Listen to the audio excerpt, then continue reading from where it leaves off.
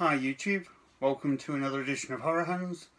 And for this episode, while I've got Horror Dad here, I thought it would be nice to share our memory of the two times that we met Christopher Lee.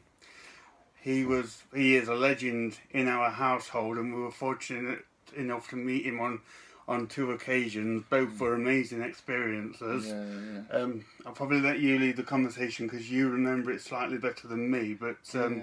the first time, how did it come around? He just they're just releasing Lord of the Rings, the first one, and he was coming to Nottingham to the a Cornerhouse, which is um, a, big building in Nottingham to do a book signing at this uh, the horror movie The shop, wasn't cinema store. Cinema yeah, store, that was awesome. and um, I just was sort of I couldn't believe it. I just couldn't because I say I've been brought up on Hammer films and have this profound love for Peter Cushing, Christopher Lee, Vincent Price, the, all the, the the oldest kind of films. So um, on the day, myself, Bryn, his sister, and mum, we queued to to meet the great man. Um, he actually turned up. That's the first glimpse we saw of him as he came out the lift. Um, he went into the store, and it, uh, when it when it was our time to meet him, the guy was such a gentleman, such a nice guy. Uh, got this big, powerful, booming voice, Yeah. didn't he? Very overwhelming presence. And the, the finger, the thing he used to point that finger. That, I thought, oh gosh, Yeah. that, that's that's the Dracula finger, Yeah. you know. and uh, I remember it being like really intimidating, but not for not not because of Christopher Lee. He was a, like you said, a total gentleman, but just the The the presence that he, he, had he got such a presence, unbelievable. such a presence, the man. and it was so big, wasn't it? so tall, and yeah, big you and- don't realise. Yeah, But um, I actually, the first time I actually got my phone, that, the, the guy at the side of Christopher Lee, other than me, he was a guy that had done his biography. So Christopher Lee was just sign every time I put something down. Christopher Lee would just sign it for us, you know, and I got the biography signed.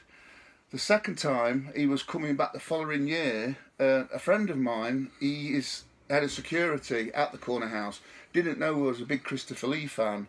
So he, he rang me and he said Christopher Lee's coming back to the cinema cinema store, and he actually got Bryn and myself on the guest list.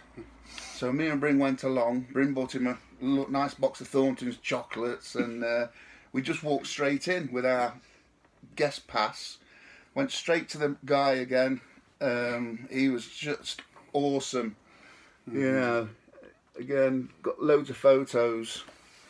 And um, Bryn presented Mr. Lee with his chocolates, and again, charming, absolutely charming.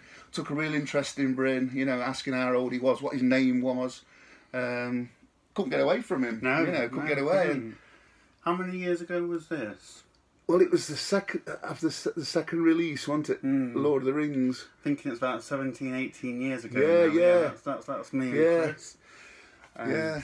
Uh, you, yeah, just an amazing man, wasn't he? Just un- unbelievable Awesome. to meet him. I can remember um, the first time we met him, and um, again, we, we met quite a few characters in his time George A. Romero and Tom Savini and yeah, Tom Sweeney, Doug Bradley, Mm. Ray Harryhausen, Mm. a lot of people. But this guy did it for me. I can remember standing in the lift with my family. I was shaking, tears streaming down my face, and the wife saying to me, "Gosh, she says you're real starstruck, aren't you?" And I went, "Yeah, absolutely." Yeah. you know what a what a day, two two amazing days, and you know, such an amazing guy. You know, sadly missed, but he's left us with a legacy of amazing films. And just could not believe in my lifetime or Bryn's that we would have the chance to meet, you know, a legend. Yeah, he was absolutely awesome. Getting So- emotional now.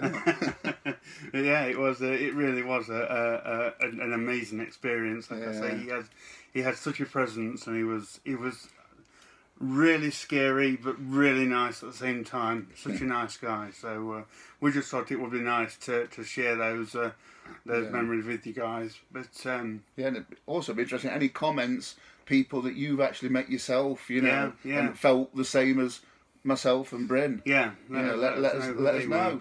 Yeah, we- yeah, we'd really be interested to know that.